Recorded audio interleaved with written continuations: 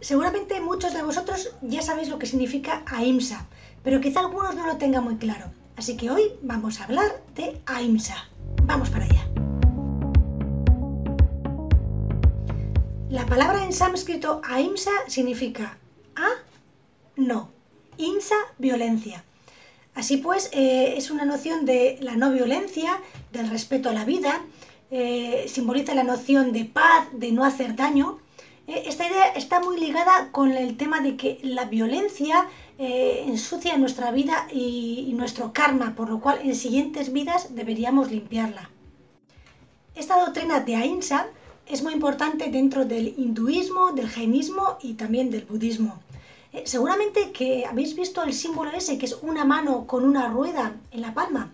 Bueno, pues esa es la mano de Ahimsa. ¿Y qué simboliza? Pues simboliza que mm, hay que parar algo eh, utilizando la AINSA, eh, viviendo con la no violencia, vamos a conseguir que esa rueda, la rueda de las reencarnaciones, se pare y no tengamos que reencarnarnos más. Como veis, es muy importante esta idea dentro de estas religiones. Pero bueno, está claro, porque la no violencia, la ira, el odio, eh, va a ensuciar ese karma que tienes que limpiar posteriormente. Y cuando hablamos de AIMSA, es inevitable hablar de Gandhi. Eh, Gandhi es considerado como el personaje que introdujo el AIMSA en todo Occidente, bueno, en, todo el mundo. Gandhi usó este principio en todas las facetas de su vida, pero particularmente, y eso es lo que le hizo famoso, fue en el mundo de la política. Eh, y lo hizo muy bien, tal y como sabéis, porque consiguió nada más y nada menos que echar a los británicos de toda la India y conseguir la independencia. Para conseguir eso, él utilizó la protesta pacífica, la protesta no violenta. Y de su boca solo salían palabras como la verdad, la, ética, la nobleza. Cuando Gandhi hacía referencia al ahimsa decía lo siguiente. Estos son palabras eh, suyas eh, literales, eh, pero son inevitables decirlas aquí porque son muy importantes. Decía, la no violencia es la mayor fuerza a disposición de la humanidad es más efectiva que el alma de destrucción, más efectiva que haya ingeniado el hombre.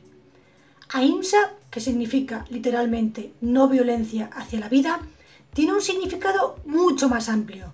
Significa que uno no puede ofender a otra persona incluso si se trata de un enemigo. Para aquellos que siguen esta doctrina, no hay enemigos.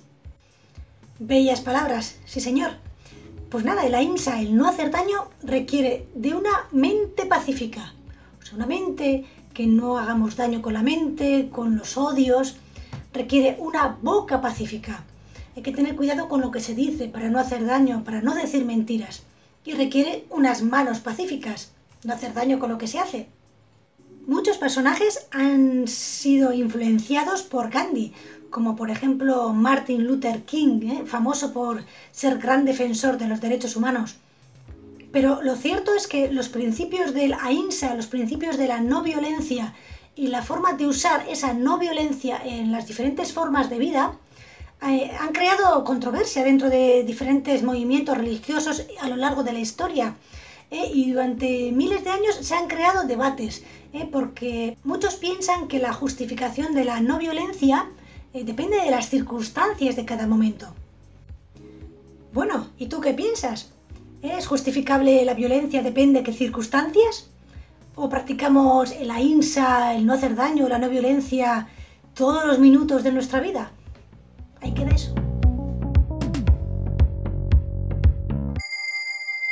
El árbol no niega su sombra ni al leñador.